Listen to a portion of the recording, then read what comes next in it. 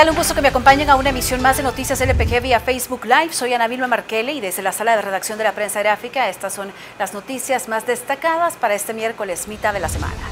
El Departamento de Estado de los Estados Unidos publicó este miércoles un documento en el que certifica a El Salvador como un país apto para continuar recibiendo ayuda de la nación norteamericana. Una de las áreas en las que El Salvador sale bien evaluado es en la protección de los derechos de la sociedad civil, de los partidos políticos de oposición y la independencia de la prensa en general. El embajador de Estados Unidos, Ronald Johnson, habló sobre la calificación positiva que su gobierno hace a El Salvador y destacó la seguridad y la reducción de homicidios en el país. Johnson también dijo que la evaluación positiva hacia El Salvador ha cambiado en el último año porque cuando el presidente Nayib Bukele tomó posesión el primero de junio de 2019, la ayuda a El Salvador estaba congelada y haber avanzado en eso es un logro de país. La Corte Suprema de Justicia de Nicaragua admitió una demanda interpuesta por dos abogados contra autoridades del Ministerio de Gobernación de ese país por dar de manera arbitraria la ciudadanía al expresidente Mauricio Funes y a su familia. Los abogados nicaragüenses solicitan declarar ilegal la ciudadanía del exmandatario y su núcleo familiar. Argumentan que la solicitud de asilo político debe realizarse ante la Comisión Nacional para los Refugiados o en la Dirección General de Migración y Extranjería y no ante Cancillería. La Fiscalía General del Salvador comenzó en 2016 investigaciones contra Mauricio Funes por supuestos actos de corrupción durante su mandato.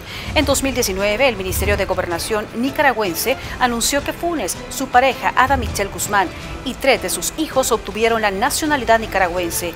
Después de esto, se ampararon en la Constitución de Nicaragua que prohíbe entregar a ciudadanos reclamados judicialmente por otras naciones. Este miércoles, la Comisión Política de la Asamblea Legislativa y representantes del gobierno reanudaron el diálogo que mantienen desde hace tres días para discutir la nueva ley que regulará la cuarentena y la reapertura del Salvador durante la pandemia.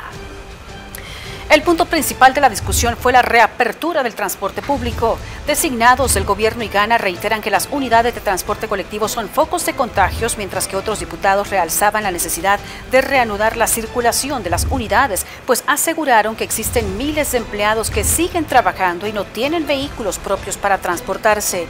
Además dijeron que personas en zonas rurales tienen dificultades para trasladarse a adquirir alimentos y artículos de primera necesidad. Por su parte, el ministro de Salud, Francisco Alaví, propuso que la reactivación del transporte ocurra en la segunda fase de reapertura, no en la primera, como piden algunos diputados. Mario Ponce, presidente de la Asamblea Legislativa, explicó que la reactivación del transporte público tendría que ser gradual, pero hizo hincapié que eso debe ocurrir desde la primera fase.